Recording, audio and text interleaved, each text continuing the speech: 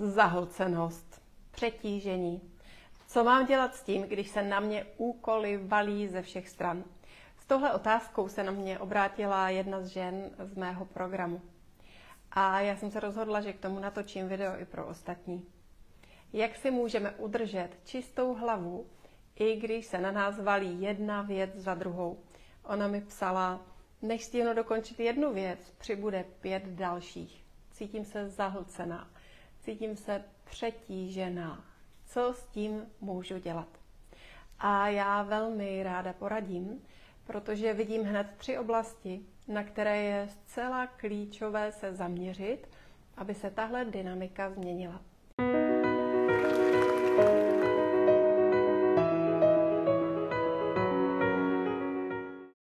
V první řadě je důležité si uvědomit, že pocit zahlcení a přetížení jenom z části souvisí s tím, co se děje v našem životě venku. A z další části, která je velmi významná, souvisí s tím, co se děje uvnitř nás. Pochopitelně máme různé životní fáze a je to jiné, když jsme studenti na vysoké škole, i když samozřejmě i tam můžete zejména ve zkouškovém období zažívat pocity přetížení, pocity, že je to hodně. A nebo máte práci, kde se vám toho schází hodně a máte jeden úkol za druhým, ale také můžete být ve fázi, kdy máte několik dětí, všechny jsou ještě malé, do toho pracujete, do toho se staráte o domácnost a zařizujete spoustu věcí. Je logické, že v každé takové fázi se objevuje i jiný objem zodpovědností. Nicméně principy, o kterých budu mluvit, platí pro každou jednu z nich. A je důležité integrovat do života, abychom i při hodně zodpovědnostech dokázali žít s pocitem lehkosti a s čistou hlavou. První věc, na kterou se podíváme, je prostor. Prostor, který nás obklopuje. Prostor, ve kterém se pohybujeme. Já jsem od nepaměti velkou milovnicí feng shui a interiérového designu. A musím říct, že jsem za svůj život jako koníček prošla kromě mnoha kurzů a výcviků, které souvisí úzce s mou profesí, vztahy, intimita, vědomá práce s tělem, ale v rámci svých zálib jsem prošla i mnoha kurzy, které se týkaly interiérového designu a feng shui a toho, jak vytvářet kolem sebe prostor, ve kterém se nám žije dobře. A proto vím i ze své osobní zkušenosti, jak důležité je zařídit si prostor kolem nás tak, abychom se v něm cítili příjemně. A dnes navíc, v době, kdy jsme celkově poměrně dost zahlcení, jak informacemi, tak předměty, které ve výsledku nepotřebujeme, tak je důležitý i narůstající trend toho, že se zbavujeme věcí, které nepotřebujeme. V angličtině výraz decluttering, zbav se harampádí, zbav se zbytečností. A tohle je velmi, velmi důležité. Já doporučuji začít ne rovnou celým bytem nebo dokonce domem nebo sklepem, půdou, kde se toho může opravdu hodně schromažďovat, ale začít nějakou částí, která je mým královstvím. To může být můj pracovní stůl, to může být nějaký koutek v bytě, který je můj.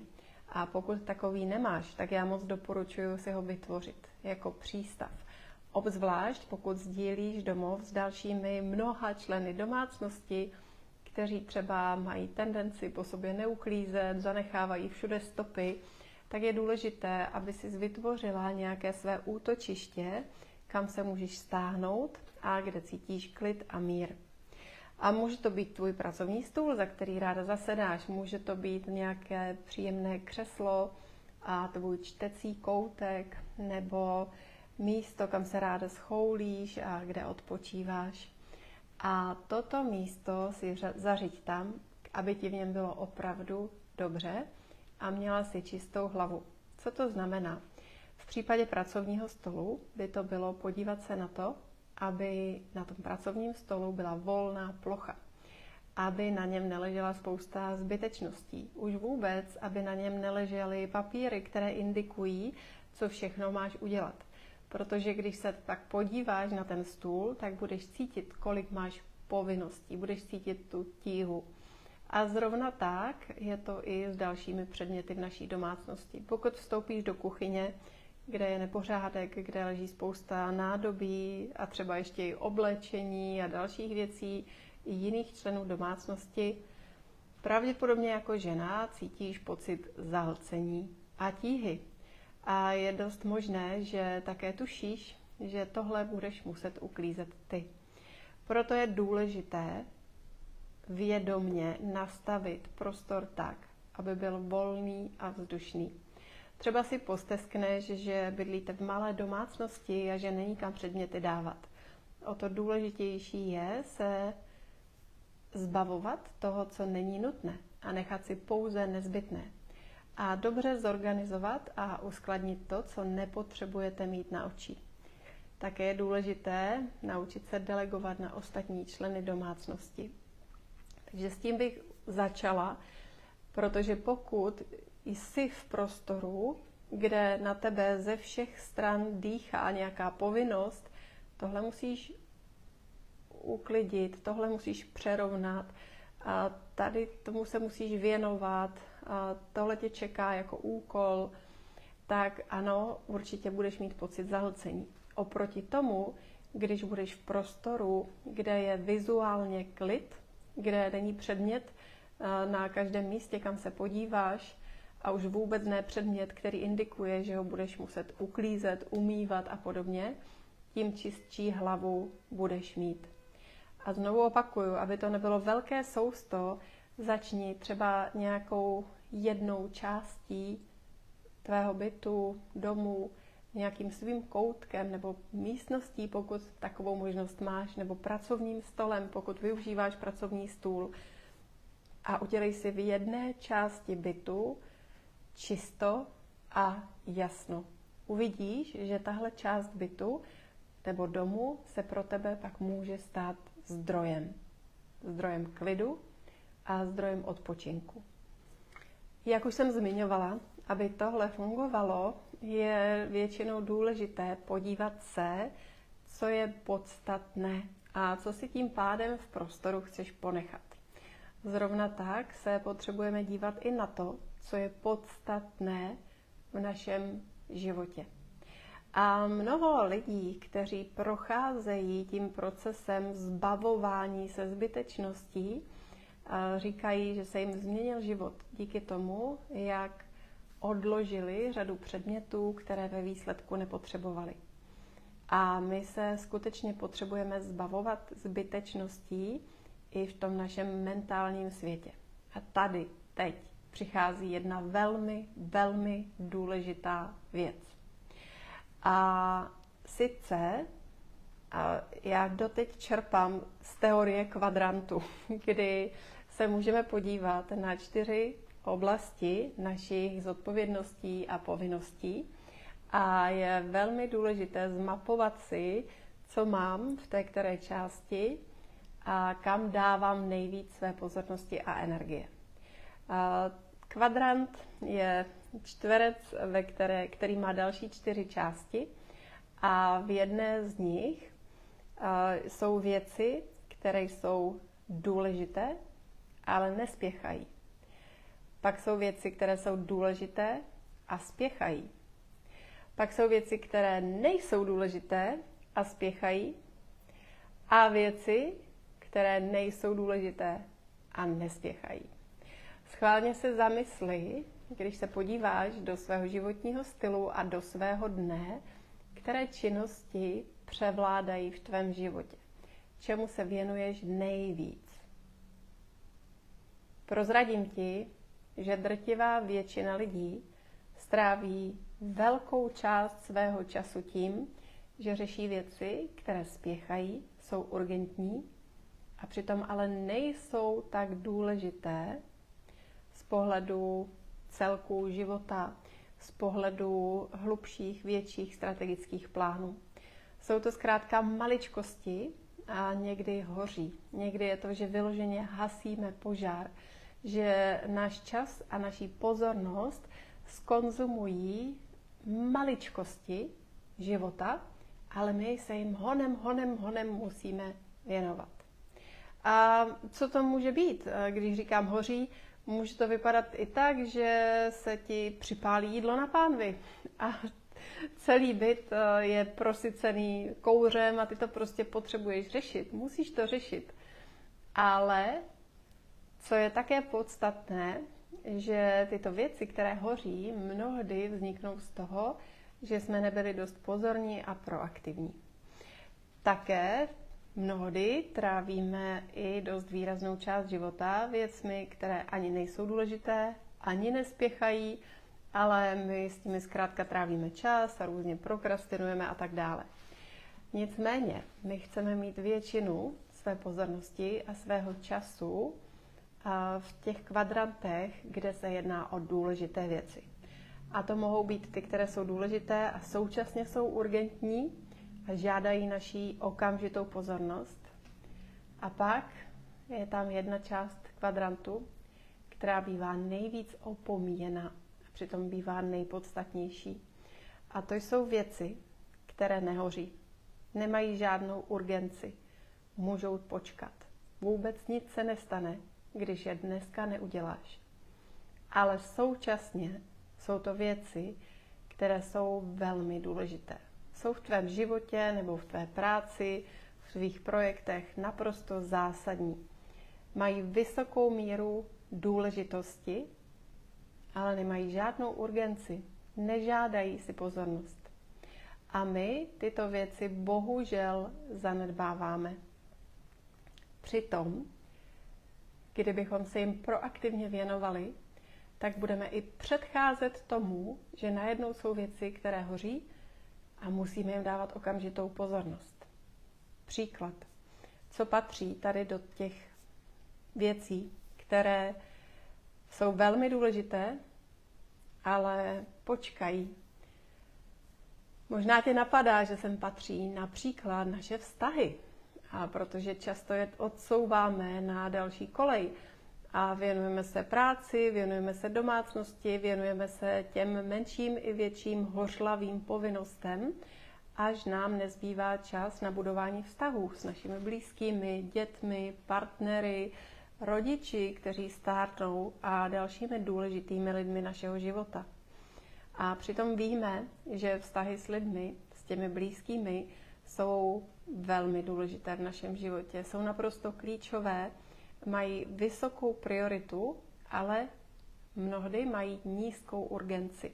Kdy urgenci získávají je, když například někdo onemocní nebo mu dokonce jde o život. Najednou se s velkou urgencí přihlásí to, co jsme tomuto člověku chtěli sdělit, co jsme s ním chtěli zažít. Najednou nám dochází, že nemáme nekonečno času.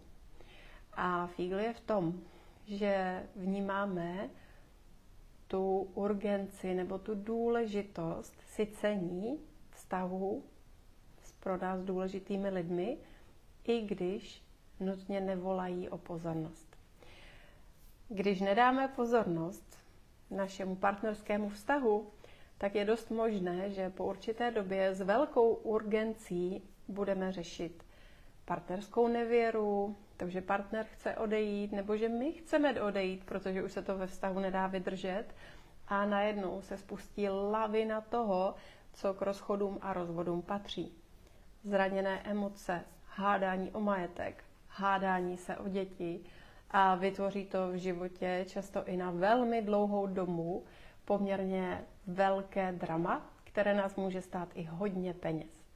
A přitom, kdybychom proaktivně sytili vztah svou pozorností a péčí, tak jsme se nemuseli později ocitnout v bodě, kdy hasíme vztahový požár. A někdy díky tomu vlivem toho schoří i celý dům. A pak jsou v kvadratu i důležité pracovní věci. Protože i v práci mnohdy řešíme spoustu detailů, spoustu maličkostí a protože jsme zahlcení maličkostmi, můžou nám utéct i důležité věci. A ty se mohou týkat strategického plánování, dlouhodobých projektů. My někdy zkrátka pro ty jednotlivé drobné věci nevidíme to nejpodstatnější, protože jsme zaměření na detail a už nevidíme, kam jdeme. A to je velká nevýhoda, protože když se ztratíme v detailech, tak někdy i ztratíme směr. A i pak se může dít, že najednou hasíme požár, že najednou to, na čem pracujeme, nefunguje, protože jsme vyrazili špatným směrem, aniž bychom si toho všimli. Zahlcení to tím nekonečným množství menších aktivit, pro které nevidíme, kam vlastně jdeme. A tohle může být na některých pracovních pozicích zcela zásadní. Architekt, který se ztratí v tom, že ladí nějaký detail a zapomene například dobře propočítat základy, no tak je jasné, že detaily jsou k ničemu, když nefunguje základ. A my si potřebujeme být vědomí, co je ta priorita, i když třeba nevolá přímo o pozornost. Tohle je skutečně to nejlepší a nejpodstatnější lék na pocit zahlcení a přetížení, kdy se díváme na to, co je skutečně podstatné a ty podstatné věci dáme na první místo. V angličtině first things first. Prostě ty nejdůležitější věci jsou na prvním místě. A to znamená, mám je na očích. Dávám jim prioritu v rámci každého dne. Úplně ideálně začínám tím, že dávám čas a pozornost těmto nejdůležitějším věcem. A k tomu, abych mohla dát pozornost tomu nejdůležitějšímu, také ale musím vědět, co to nejdůležitější vůbec je. A tady pro mnohé přichází kámen úrazu, protože hodně lidí nemá jasno v tom, co je nejdůležitější.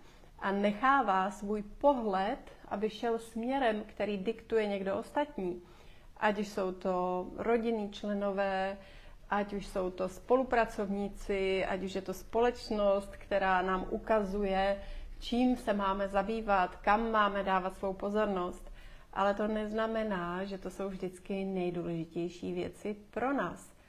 Stačí si zapnout televizi nebo internet a dostanete spoustu impulzů, čemu máte dávat pozornost, ale ve většině případů to není to, čemu byste pozornost dávat měli. A proto je důležité si uvědomit a v průběhu života aktualizovat, co je důležité pro mě, co je ta moje priorita, na čem záleží mě v oblasti vztahů, v oblasti práce, v oblasti seberealizace, v oblasti zdraví, oblasti místa a lokality, prostředí, kde žiju. A nacházet své vlastní odpovědi. A pozor, Tohle není automatické, protože velmi často ta první odpověď, která nás napadne, vůbec nemusí být naše, ale je to něco jako předem nahraný program. Máš dobře vydělávat, máš mít dobrou práci, dobrou kariéru, dobré bydlení, dobrého partnera, dobrou rodinu. Chápete, že naše společnost už pro nás má hotové představy o tom, co to znamená žít hezký život. A my do mnoha těchto modelů vstupujeme bez myšlenkovitě, abychom později zjistili, že to, co žijeme, není to, co nás naplňuje. Někdo takhle stráví celý svůj život a někdo se v průběhu života zastaví, aby si řekl, aha, splnil nebo splnila jsem si svoje sny, ale to, co žiju, se mi nelíbí. Tady je něco špatně. Možná jsem opřel či opřela ten svůj žebřík o špatnou zeď. Možná potřebuju tvořit něco jiného. A co to je? To moje. Co to je, co je pro mě skutečně důležité? Já se k tomu ještě za chvilku vrátím. A než to udělám, pojďme se teď podívat na obraz. Představ si, že máš hromádku větších kamenů, malých kamínků a písku. A pak dostaneš nádobu, do které toto všechno máš dát. Pokud nejprve nasypeš písek a pak dáš menší kamínky, s největší pravděpodobností se dostaneš do bodu, že velké kameny už tam nedáš žádné, protože se tam nevejdou.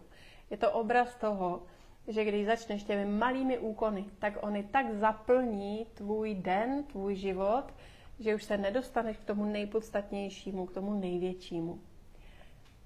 Ovšem, když nejprve do nádoby naskládáš ty větší kameny, tak mezi ně nasypeš menší kamínky a na to pak nasypeš písek, který propadne sám do těch mezírek. A ty zjistíš, že se ti tam vejde všechno. Ale potřebuješ začínat tím největším, tím nejpodstatnějším. A díky tomu se stane, že i v rámci dne najednou stíháš mnohem víc věcí. Dokonce stihneš i ten písek, protože on se tak nějak vejde do rytmu tvého dne. Ale neznamená to, že bys měl či měla chtít do svého života vměstnat úplně všechno. A proto chci mluvit ještě o třetím principu, a to je pouštění. Je to v podstatě zbavování se harampádí nejenom ve fyzickém, ale i mentálním prostoru. A jak to vypadá, když pouštíme v tom fyzickém prostoru? Jeden ze způsobů je, že jdeš po domácnosti a říkáš si, co můžu odložit. A tenhle princip funguje odsuť pocit. Co je mnohem efektivnější je, že si vezmeš věci na jednu hromádku a díváš se, co z toho si chci ponechat. Vem si například šatník. Jdeš do svého šatníku a řekneš si, co můžu vyřadit. A možná vyřadíš pár kousků. Ale když všechno ze šatníku naházíš na jednu hromadu a řekneš si, teď si mám vybrat jenom to, na čem mi opravdu nejvíc záleží, co fakt nejvíc potřebuju, anebo je mi to tak milované, že to v žádném případě nechci dát a chci si to ponechat, tak opět vybereš pár kousků. A mnohem víc jich zůstane nepovšimnuto. Podobně to potřebujeme dělat i s aktivitami našeho života. Podíváme se na to, co v tom objemu toho, co řešíme, je nejdůležitější. A vybereme si těch svých pár kousků, které jsou buď to opravdu velmi důležité, potřebujeme se jim pověnovat, a nedají se delegovat, a i když je třeba nemusíme milovat, musíme je udělat. Například ehm, mě nedávno, byla jsem, jak se říká, obětí kyberútoku a došlo k úniku peněz z mého účtu, prostě mi ukradli peníze z účtu. No a tak jsem musela jít do banky, abych si znovu aktivovala účet, který jsem nechala předtím zablokovat. Musela jsem jít na policii a strávit tam několik hodin tím, že jsme psali záznam. A zkrátka se to nedalo delegovat ani na někoho jiného, ani by nebylo moudré tohle vypustit. A pak jsou věci, které miluješ a proto si je chceš nechat ve svém životě. Takže se díváš na to, co je důležité, co je podstatné, co nemůžeš pustit, co nemůžeš delegovat. Pak je ale spousta věcí, které podstatné nejsou a ty je zkrátka vypustíš a necháš je být. Pak jsou věci, které podstatné jsou, ale může je udělat někdo jiný, tak je deleguješ. A pak jsou ty, které potřebuješ udělat ty, až jsou důležité, a ty, které miluješ a chceš si je ponechat. Ale významným způsobem redukuješ všechno ostatní. Takže ten princip, o kterém mluvím, je pouštění, pouštění, pouštění. A spíš než aby si přemýšlela či přemýšlel nad tím, co chci pustit, co chci nedělat, přemýšlíš nad tím, co potřebuji udělat, co je to nejdůležitější, co je to nejpodstatnější. Někdy nás tímhle způsobem učí například nemoc. Když máme oslabené tělo a máme jenom limitovanou možnost zaměřit svou pozornost na něco, udělat něco a tak dále, tak v tom, na co zaměříme pozornost, se snažíme udělat to nejdůležitější, to nejpodstatnější, a nebo i to nejradostnější pro nás. Protože víme, že víc krátka neuděláme. A tuhle optiku pohledu je velmi moudré zachovat si do života, i když třeba máš víc kapacity, i když by si třeba víc zvládl nebo zvládla. I tak je důležité dívat se, co je nejpodstatnější. A na to je dokonce i pravidlo, a Paretovo pravidlo 80 na 20, kdy to, co je skutečně podstatné, je přibližně 20% toho, co děláme nebo co máme. A kdybychom se věnovali těmto 20% naší činnosti, tak většinou vyřešíme to nejpodstatnější. A těch 80% je šum. Takže my ve 20% aktivity vyřešíme většinu důležitých pracovních věcí, věcí našeho života a tak dále. Nicméně máme tendenci se dál zahlcovat 80%, která nejsou vůbec tak důležitá. Pojďme si to schrnout. Mluvila jsem o prostoru, který nás obklopuje, protože to, v čem se pohybuju a to, na co se dívám, velmi silným způsobem určuje to, na co myslím a jak se cítím. Pokud se chceš zbavit pocitu zahlcení a přetížení, udělej si fyzicky prostor kolem sebe. Udělej si kolem sebe čisto. A to znamená, že se budeš konfrontovat i s tím, jaké jsou tvé priority a začneš přemýšlet nad tím, co je v tvém životě opravdu podstatné, i když to není urgentní. A ty nejdůležitější věci budeš dělat na prvním místě. To třeba i znamená, jako první den, věc v rámci toho dne, první hodinu dne věnuješ tomu, co je pro tebe nejdůležitější. Pro někoho to může znamenat, že o hodinu dřív vstane a udělá si čas na to, na co si čas udělat chce. A aby to fungovalo, tak také z pravidla potřebujeme pouštět a průběžně pouštět znovu a znovu a znovu.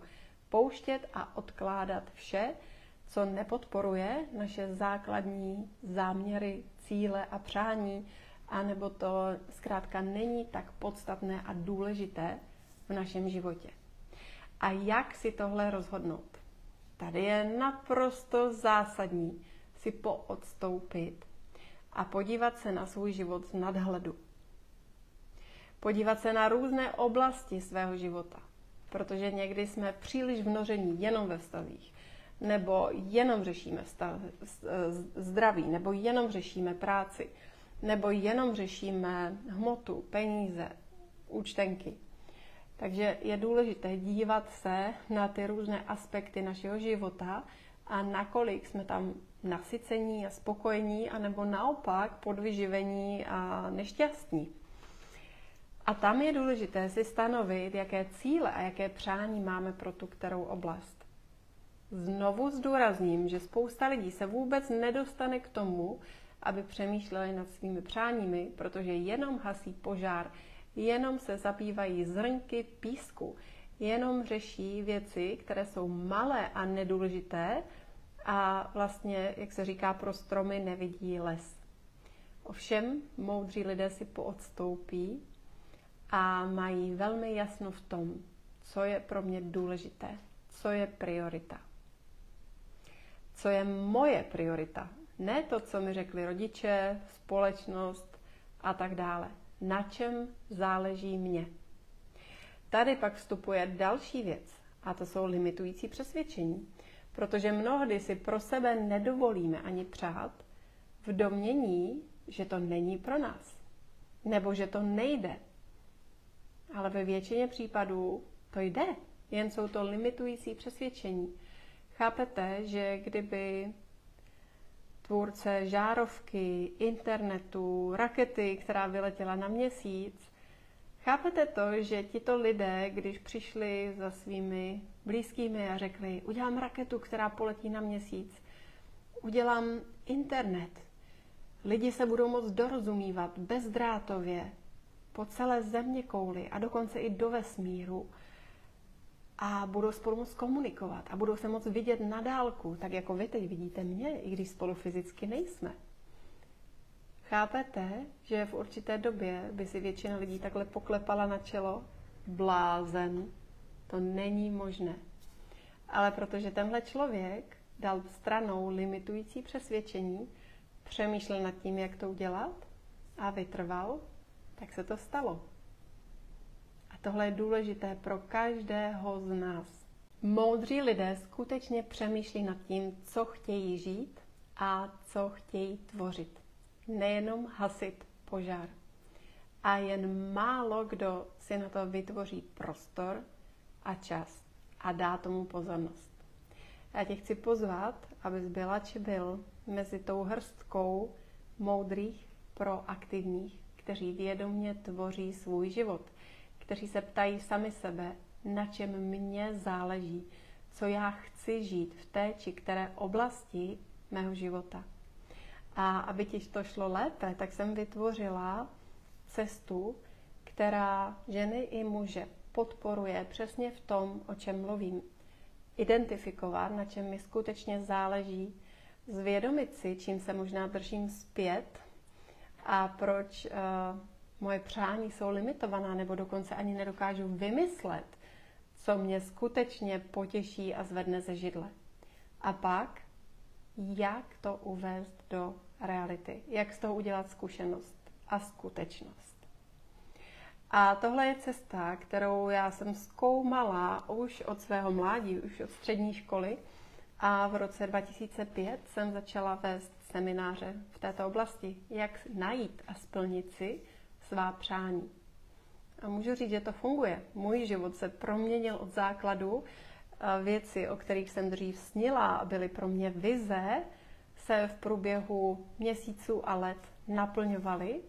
A současně jsem mohla pozorovat, jak se plní i stovkám dalších, které jsem v této oblasti provázela. A je to proto, že pracuju s tou metodou manifestace velmi komplexním způsobem. Pochopitelně většina lidí dnes už ví, že je velmi silné si věci zapsat, že je velmi silné si věci vizualizovat, ale stejně tak to málo kdo dělá správně, aby to bylo skutečně funkční. Protože je potřeba dívat se i na toto principy v kontextu. A v programu, který jsem vytvořila, a nazvala jsem ho Jak žít své sny, se díváme na mnoho různých rovin manifestace jak uvést své sny do reality, jak je vůbec najít, jak překročit svůj stín, jak rozpustit svá limitující přesvědčení, jak se postarat o to, aby naše záměry byly skutečně ve spojení s naším srdcem a aby byly celistvé. A jak to udělat? Aby se naplnili, aby se skutečně ve hmotě staly a my nejenom, že si je splníme, ale byli jsme skutečně i šťastní a spokojení. Pracuji navíc s rovinou, která je jak magická, tak praktická, kdy se zaměřujeme na určitý přesah a energii, ale současně je můj přístup velmi zemitý a zakotvený a tím pádem se díváme i na tu racionální část a praktickou část naší každodennosti, protože za mě je nejsilnější, když tyhle dvě věci spojujeme. A to, o čem mluvím, je lék číslo jedna na pocit zahlcení, přetížení, životní nespokojenosti, vztahové nespokojenosti a tak dále. Protože všechny tyhle věci, kdy se nám něco boří, kdy nestíháme, kdy jsme nespokojení v práci, kdy jsme nespokojení ve vztahu, to všechno souvisí s tím, že jsme zanedbali ty první důležité kroky, co chci žít, co chci tvořit. Pokud ti to dává smysl, pojď se mnou, protože já ti pomůžu sednout si opět na trůn tvůrkyně či tvůrce svého vlastního života. A pomůžu ti rozkvést takovým způsobem, který ti náleží, který je v propojení s tvým srdcem, který je v propojení s tvojí duší.